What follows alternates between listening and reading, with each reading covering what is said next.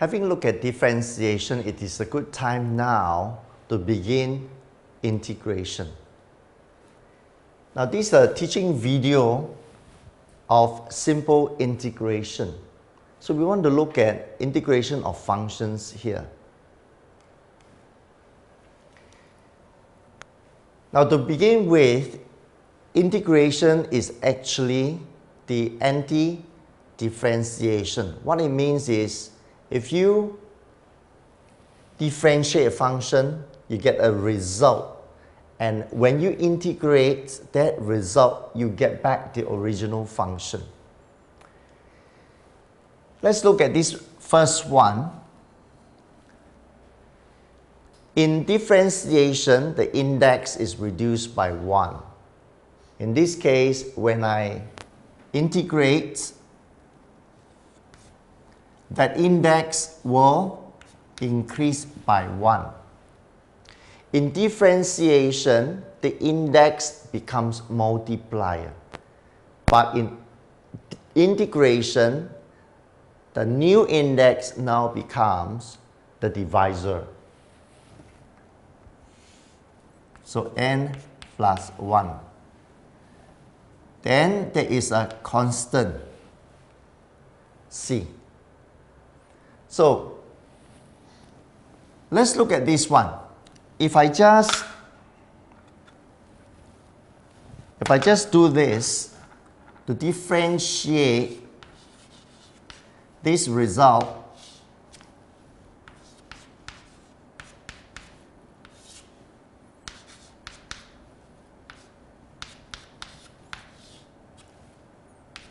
I should get back what I see here.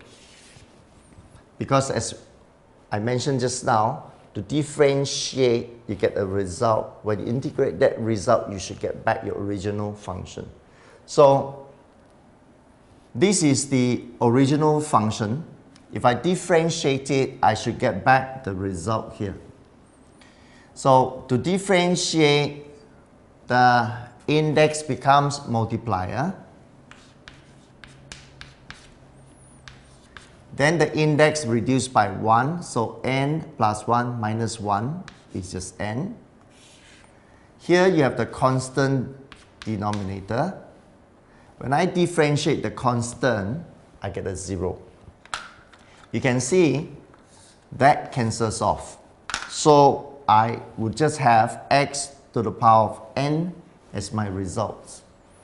But looking at the result of integration, the index increased by 1 and the new index now is n plus 1 and it will become the divisor. Now I have put in a condition here so that it's helpful for us to know whether the function is valid or not. You see, if I have a negative 1 for n here, then the whole denominator will become a 0. As you know, anything divided by a 0 is undefined. So n cannot be equals to negative 1.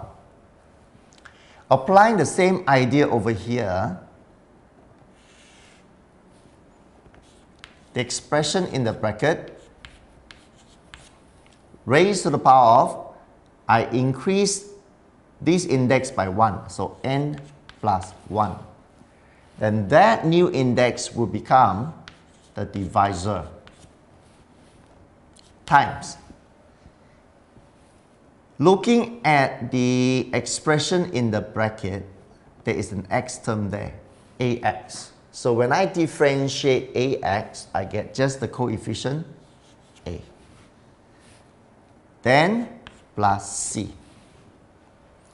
So two steps there. One, the index become uh, the index has increased by 1 n to n plus 1 next that new index is the divisor. Also with the fact that the expression in the bracket can be differentiated to give you a so you write a there so these are the steps. Bear in mind when we talk about indefinite integration, it means that there is no limit here. You, you don't see any numbers in the integration side. So you would have to introduce this idea of a plus constant. Looking at the condition, uh, n definitely cannot be a negative 1. That will become 0. The whole denominator will become 0. So the function will become invalid. Also, a cannot be a 0. So 0 multiplied to n plus 1 will still be a 0. So these are two conditions you have to bear in mind.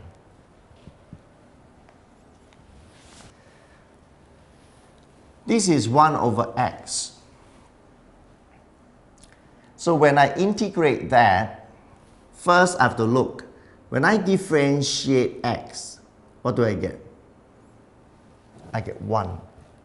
So this is the result of differentiating the x. So the answer I get is ln what I see in the denominator then plus c.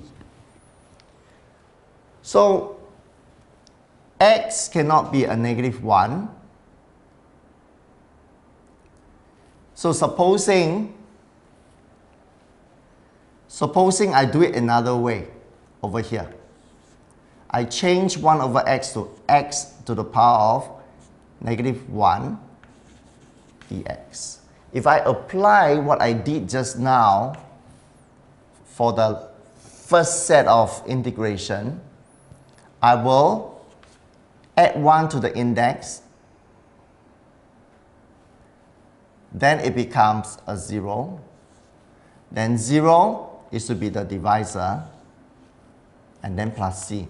You can see the whole function is invalid. And whenever you have such an expression where you differentiate the denominator you get the numerator, then you have to use ln. By the way, this can be rewritten also in another form. In this form, you can see exactly what the base is, log base e. With this one, you can see if I differentiate the denominator expression, I should get A. But I don't get A there. So I have to introduce 1 over A on the outside. Here, I have A over AX plus B. Now let's look at this again. When I differentiate AX plus B, this is the X term, I get the coefficient of X. So that's A. But I cannot just introduce an A without compensating the whole expression. So this is 1 over A. You can see A times 1 over A is 1. So I have not changed the whole value of the function. It is just 1. But I have to write it this way to prepare me for the next step. 1 over A, then it will be ln bracket A x plus b plus c, the constants. So that will be the result. You can see ax plus b is the expression in the bracket here. ln e or log base e0 is a no-no. You can actually press in your calculator ln and followed by a 0. It will give you a mathematical error. And also, a cannot be a 0 because 1 over a here, 1 divided by 0 also will cause the whole function to be invalid.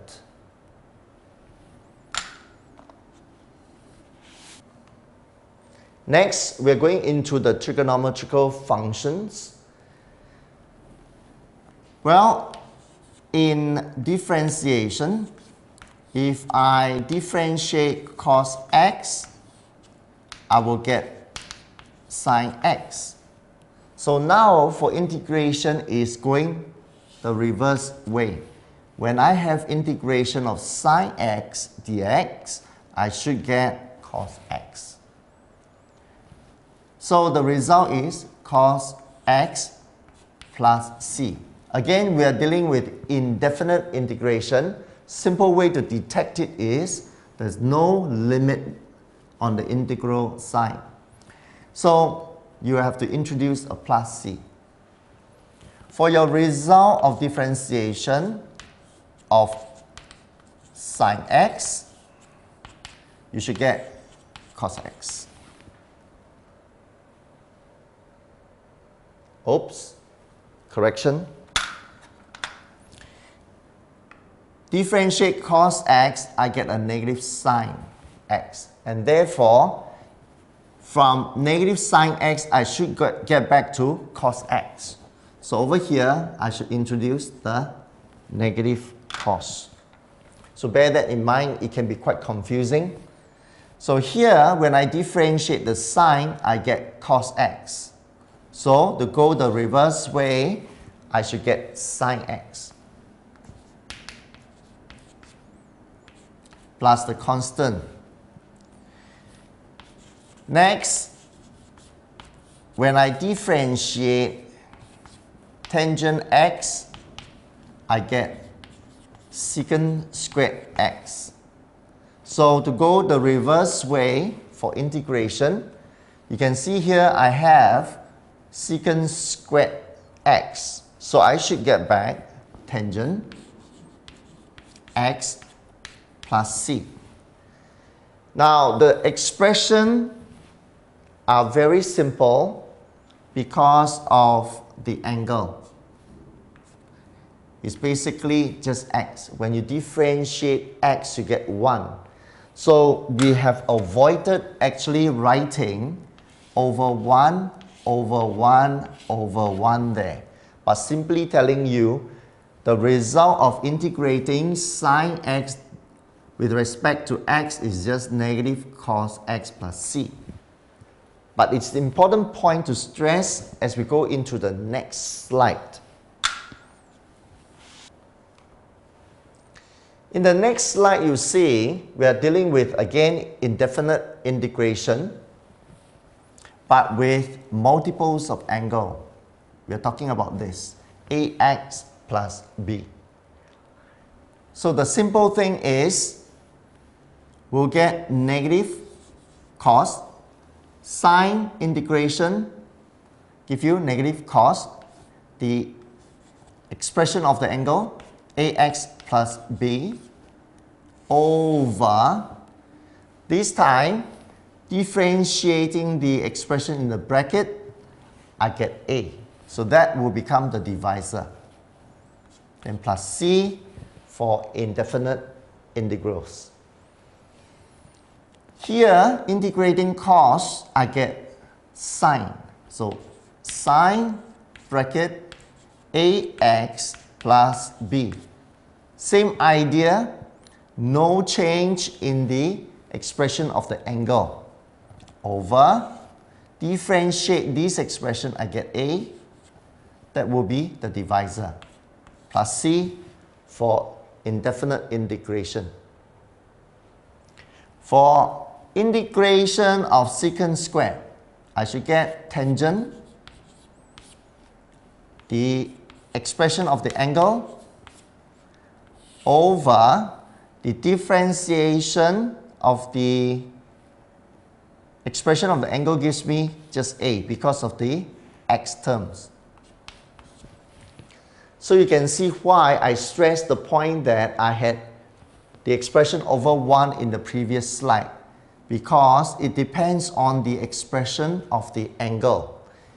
We must accommodate that in the results.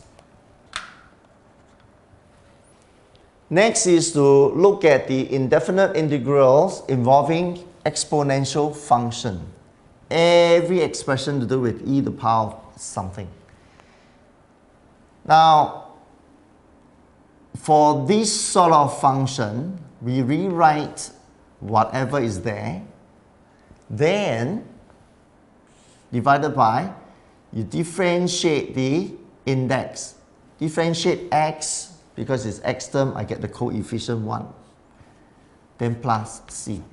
Really for this, nothing is changed. However, for something like this, where the index is ax plus b, then rewrite the exponential function over, this time we differentiate this index expression, so I get a, because it's x term. The coefficient is written here, the constant term will give me a 0 when I differentiate it then plus C. You can see over here, the condition is clear. A cannot be 0. A is a denominator. If the denominator of any fraction is a 0, the whole expression is undefined.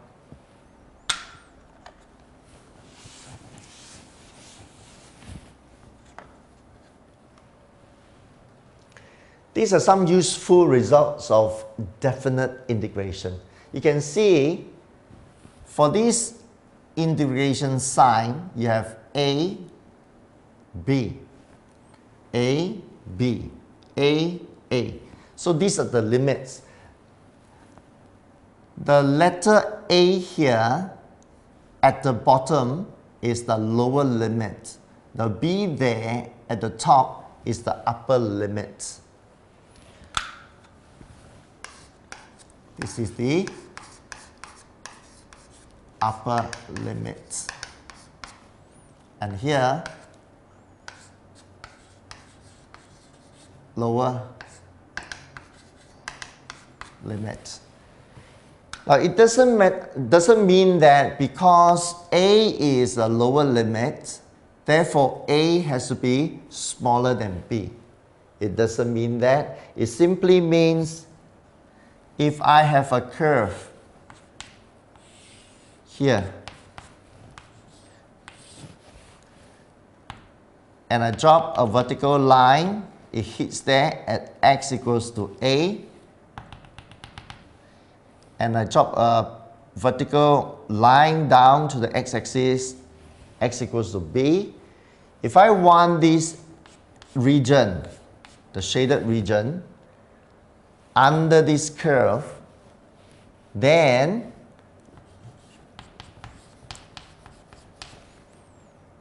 to integrate from a to b of the fx,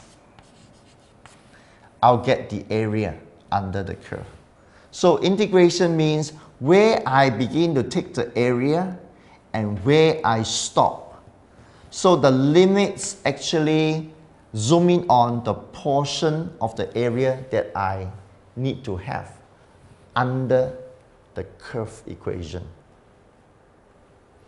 So we'll talk about what happens if I integrate from B to A. That will be in one of the results later. Over here, you can see d over dx, capital F bracket x, gives me this. So if I integrate fx with a small letter f, I'll get back this. So the general idea is if I integrate fx with respect to x, I get back f bracket x plus c. But this is a definite integration. So what I will have is this. Take this result without the constant. And I have to bear in mind putting in A and B later. So you can see for definite integration, the plus C is not necessary or because it will cancel out in the process of putting in the A and the B value. So we keep it very compact here. And next, you substitute the B into this function, capital letter F bracket X. So you get F bracket B then minus, you put in the lower limit into the capital letter F bracket x. So that will give you the result. The result, when we talk about application of integration, will be the area under the function. Over here, you notice that for, for this function, well, let me change this to g. I need to look at two functions here. One is the cf bracket x, one is the d, the function gx. There are two different functions here. But c and d are constants, just like the A and the B over there. So if they are constant, the constant C and D can be taken out. So here, first one, C to integrate fx from A to B. With respect to x, then take out the constant D and then differentiate from A to integrate from A to B of the gx function with respect to x. So you can see one huge expression can be split up into two with a constant on the outside of the integration. Next, you notice that the lower limit and the upper limit are the same whether it is AA, BB, or whatever else. Then the result will be a zero. Now, if we go back to this, if I integrate from A to A, I don't get an area because it is basically the same point I'm taking. There's no area at all.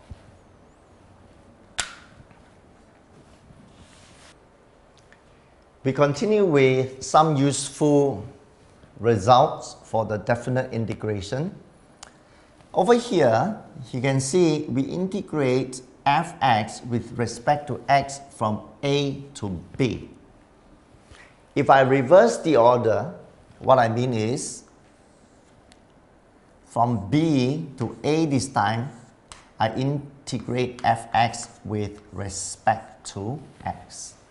So I will have to introduce a negative there. So that will go in there. So whenever I switch the limits around, I will have to have a negative so that I balance both sides of the equation. Next, supposing that I use this graph to illustrate the point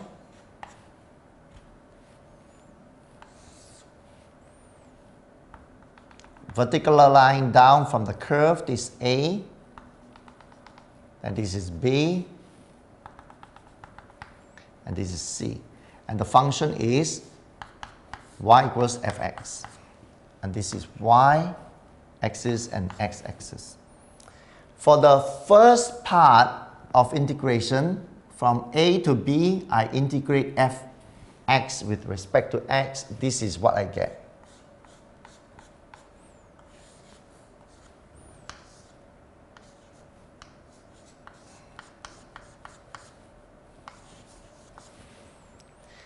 Then for the second part, where I integrate fx from b to c with respect to x, this is what I get. So with two parts like that, I can combine into one so long as lower limit, upper limit, lower limit, upper limit is joined to the next integration, lower limit, upper limit, lower limit, upper limit. So these two must be the same.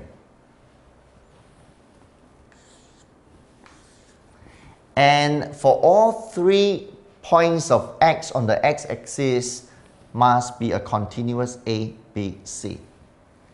A, B, C. Then I would be able to just write it in this form.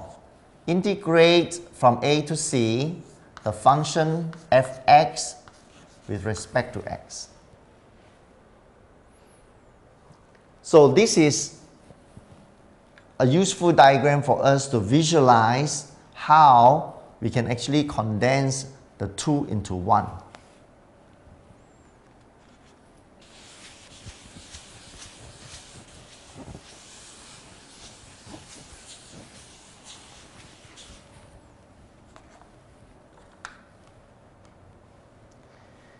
Now, there are other expressions which are useful for us and they are from the topics partial fractions. Well, we had actually gone through quite a bit for partial fraction. This is just a summary of it. Now for partial fraction, if you have got a, an expression like this, f bracket x over g bracket x to integrate. Sometimes it's easier if you can break it down to an expression like that. Uh, because gx is a linear expression, then your numerator will be at a. So for this part is more of the fractions that you have to integrate, too difficult, but you can split it into more fractions and each of these fractions can then be integrated in turn. Next is a repeated linear factor. What I mean is this. If the gx is a linear factor but repeated, it could be squared. So it can be broken up to a over ax plus b, taking only one of it, then b over the repeated linear factor. For C, we have a quadratic factor here, which cannot be factorized. So if it can be factorized, it could be made into two linear factors. Then we will not be using this form here. So this is just for quadratic factor of this form. So if gx is x squared plus a squared, then the numeral is ax plus b. So remember, this is useful if you encounter any expression, fractional ones, that you find difficult to integrate. Then you would use partial fraction to split up the fractions further so that you can integrate part by part. So we have come to the end of this uh, segment of video. Run through it as often as you wish so that you are very familiar with each of the results.